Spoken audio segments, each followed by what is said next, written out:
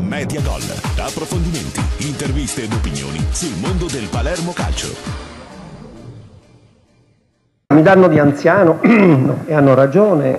Io ti faccio una domanda che no, non è che la posso fare solo io, ma però io mi ricordo di una cosa specifica. Dieci anni fa tu allenavi il Palermo e, e la fine del campionato in condizioni completamente diverse, la società che praticamente non esisteva più, un momento di passaggio difficilissima, fu però pesante e difficile per te, per, per, la squadra in generale. Vincesse la partita col Messina, eravate quasi alle soglie della corsa alla Serie A, da allora non vinceste più una partita, soltanto pareggi per una... Trovi dei punti di riscontro con questa annata così particolare, pur diverse le condizioni, la serie, la categoria, la squadra? Eh, no, oppure no? Nessun, col, nessun, nesso, nessun nesso assolutamente perché eh, qui sì, no, però non ha nessun, non ha, non ha nessuna, nessun eh, diciamo così, nesso perché questo è una realtà che abbiamo preso in mano in corsa in una situazione eh, particolare e che doveva essere gestita e eh, nello stesso modo riuscire a completare un lavoro che eh, il Presidente ha ritenuto che fosse importante proprio portare la squadra alla salvezza, visto un po' le problematiche che si erano manifestate che potevano eh, così evidenziare.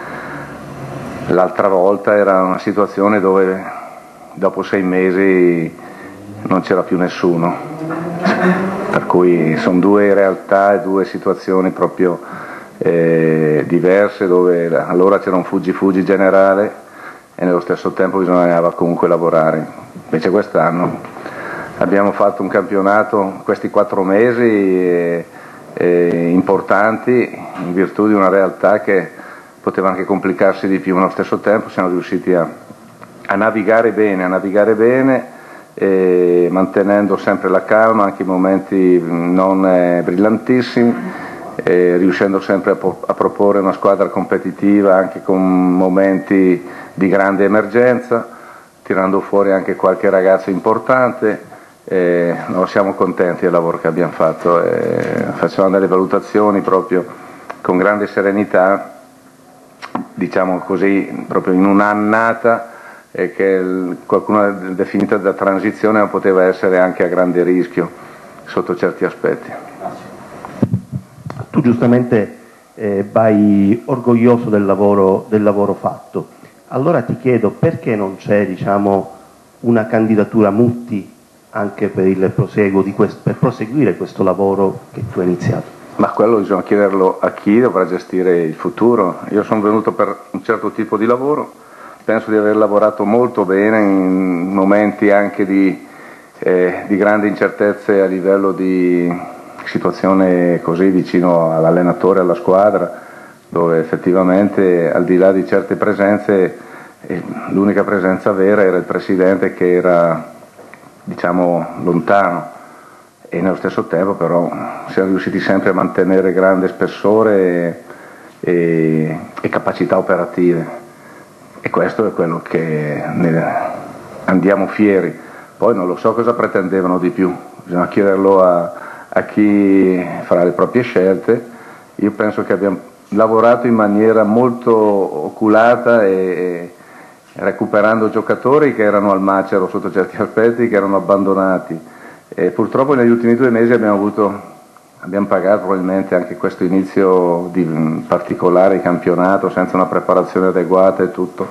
Abbiamo perso per due mesi dei giocatori, magari cardini, che, che ci hanno tolto quei 5 o 6 punti che la squadra meritava in più, per cui forse si vedevano le cose un po' diversamente, perché poi tutto questo è in virtù dei 5 o 6 punti che magari ti possono mancare nella classifica e nello stesso tempo eh, noi sappiamo bene perché non ce li abbiamo, eh, però non possiamo farci niente, per cui noi valorizziamo no, noi pensiamo di aver, io e il mio staff, lavorato in maniera veramente importante e seria e nello stesso tempo eh, oh, se non siamo candidati a guidare il Palermo andremo da un'altra parte, è mica la fine del mondo.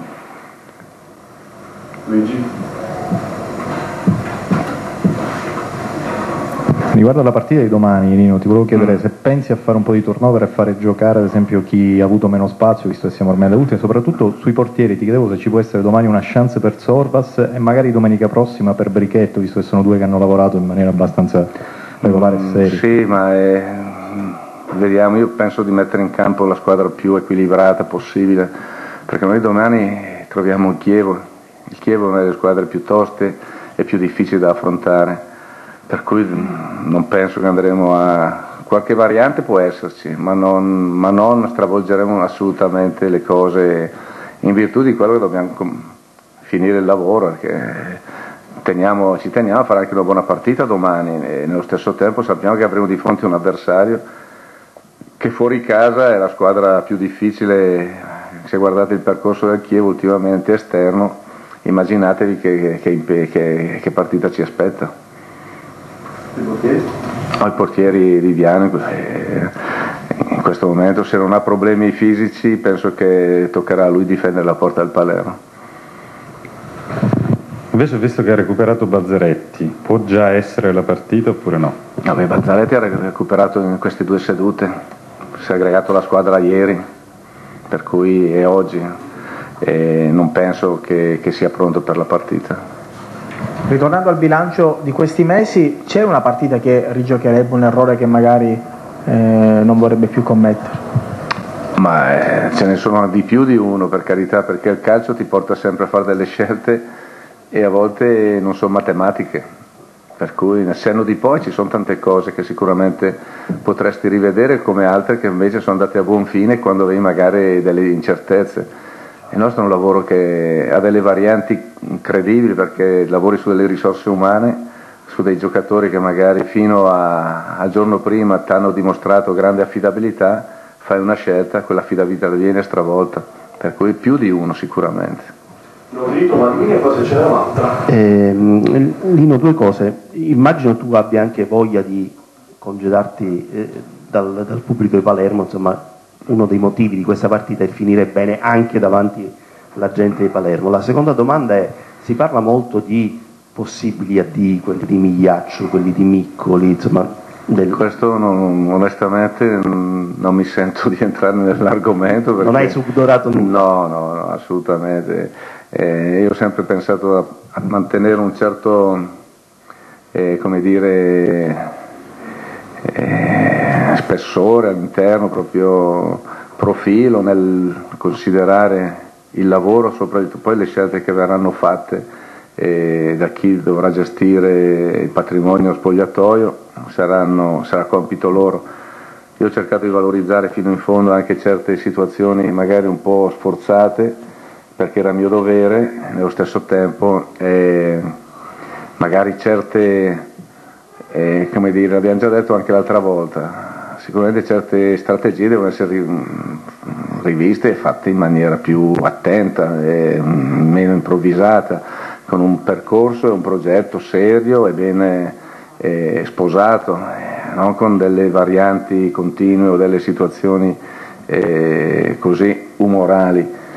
È questo che probabilmente quest'anno è mancato al Palermo, una gestione è un percorso ordinato da grande squadra e poi alla fine io vi dico che è andata bene, perché a volte non chiudi sempre gli annate in maniera così.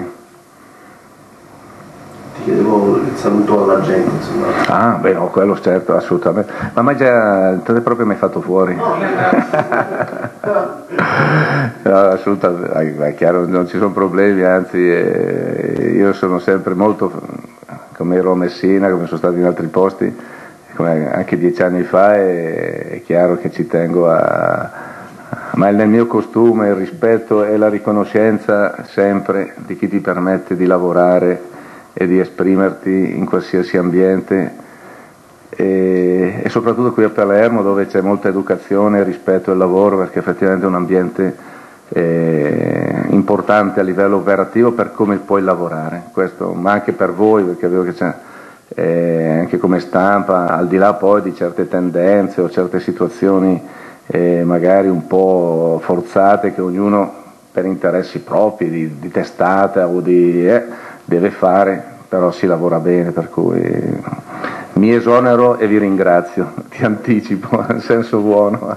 Eh, nel... essere un saluto di fine stagione, non un Sì, no, lo so, no, sì, vabbè, ma visto che magari è, è, è, per cui onestamente devo dire che si è lavorato bene. Anche nelle nostre difficoltà e anche con voi è stato un buon percorso. Paolo?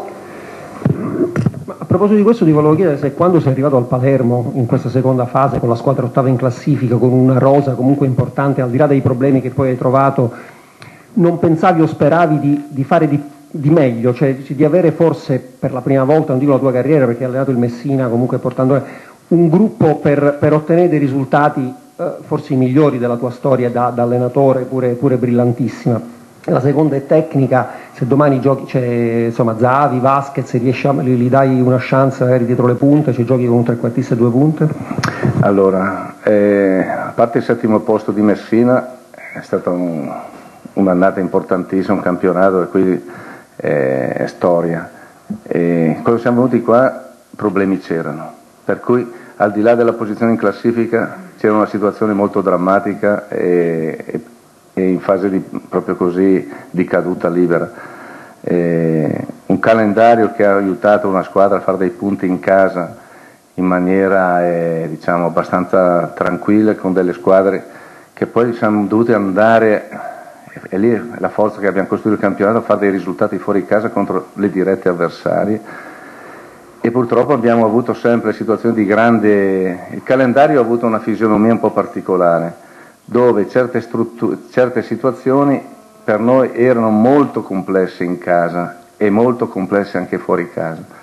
Ma allo stesso tempo abbiamo portato a casa 22 punti in maniera diciamo così equilibrata, costruendo una struttura di squadra anche a livello esterno che prima non c'era, andando a far gol, proponendo una squadra molto più combattiva, più sobria mi sono mancati quei 5-6 punti come ti ho detto prima, che per fattori vari, purtroppo, eh, ti dico anche un po' arbitrali, non, non entrano. Però non è finita. Non è finita. Ci tieni a finire a 48 per esempio? Mi, piace, mi piacerebbe fare ancora 3-4 punti, una vittoria domenica e poi andare a, a giocarmi la partita col Genoa, questo sicuramente. Però adesso bisogna stare attenti anche alla testa di certi giocatori perché quando c'è un certo, e questo un po' le, le difficoltà nostre a gestire queste fasi finali dove magari certi obiettivi ormai non esistono più, invece per noi allenatori eh, sono sempre lì. Grazie a tutti, grazie. Media Gol, approfondimenti, interviste ed opinioni sul mondo del Palermo Calcio.